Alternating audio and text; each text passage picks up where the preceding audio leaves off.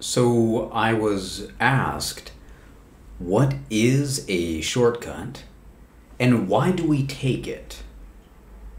Well, to answer the first part, which is the easier part, a shortcut is a faster method to achieve or reach a goal.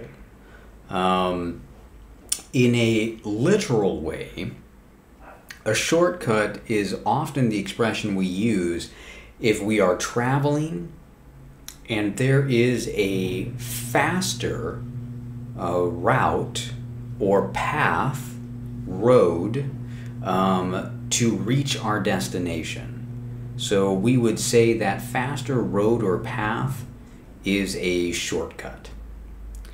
Um, however, we can also use this expression in regards to attaining or reaching a goal in a project. So you might hear sentences like, I found a shortcut that we can use that eliminates steps two, three, and four. So in this context, uh, perhaps you and your coworker are working on a project and uh, there used to be six steps, but now we have found a method that eliminates uh, step two, three, and four. So now we have reduced the process to just three steps. So we would say, I found a shortcut um, to reduce steps two, three, and four. I found a shortcut to achieve our project.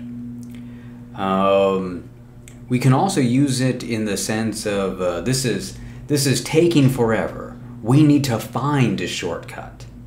So now um, we're just emphasizing that we want to find a faster method to reach our our goal or attain the goal of our project. Uh, we need to find a shortcut. So that's what a shortcut is. Now, my student also asked the question in English, why do we take a shortcut? We need to take a shortcut. Well, I have to be honest, uh, I think that's just the answer is English is a strange language.